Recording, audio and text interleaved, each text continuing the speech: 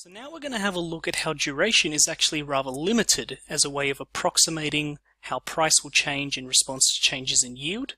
Then we're going to see how we can use convexity to improve on that estimation and then interpret how convexity is actually useful.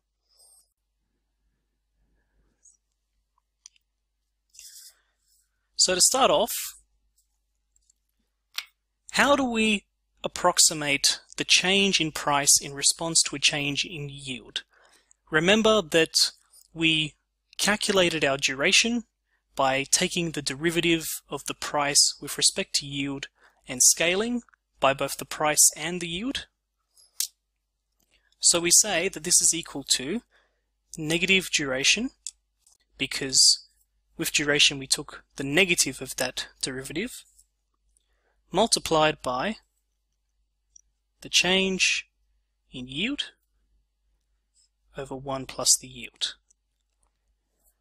And just take note, I've got R here as opposed to 1 plus R here because the change in the yield is exactly the same as the change in 1 plus the yield. If the yield goes from 4% to 5%, then it doesn't matter if I'm taking the difference between 0.04 and 0.05 or 1.04 and 1.05, it's still 1%. So this is equivalent to saying the change in 1 plus r. But we like to use change in r, it's just a bit nicer. Now there's one extra modification we make to this, because remember that I explained the reasoning for scaling according to the price. That was because